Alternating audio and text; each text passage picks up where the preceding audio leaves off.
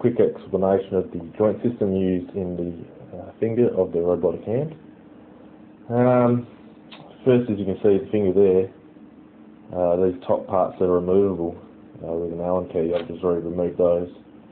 If we uh, zoom in, you can see the uh, return spring here, and then the tendon which pulls it is over here.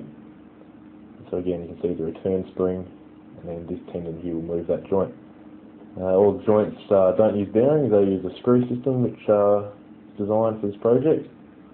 And, uh, this joint here is a 2 degree freedom joint, uh, and tendons pull on these joint arms here to move the joint side to side.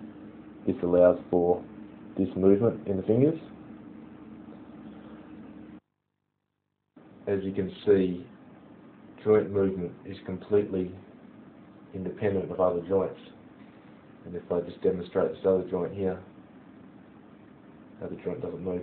This joint isn't returning as you can see because this top part needs to be on which will stretch the return spring to a longer length. If you, if you zoom in, you can see there that the return spring is joined up whereas the top part will make, bring it down making it return.